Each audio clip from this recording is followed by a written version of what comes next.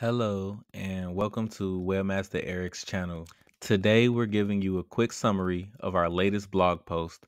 As always, the link will be in the description. In this video, we discuss the summary of the blog post. You'll learn the summary about the topic, but you'll have to go to the blog directly to read it in full. To dive deeper into this topic, visit our blog at webmastereric.com forward slash blog dash post or click the link in the description.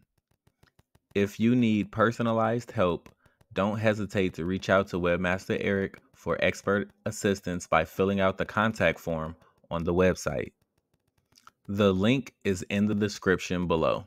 Don't forget to like, subscribe, and hit the bell icon for more updates.